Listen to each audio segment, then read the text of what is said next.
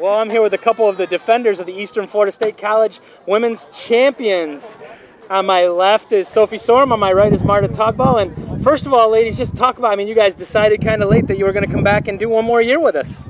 Yeah, um, and this is why we came back, because we wanted to be national champions. And now, Marta, just talk about what this means to be national champion now. I mean, it's the biggest thing you can win. And it's been a long ride. We've been in two semifinals, lost both, and now we won on, the, on our third year at a JUCO, so it couldn't be more perfect. It's great. Congratulations, ladies. Thank you. Thank you.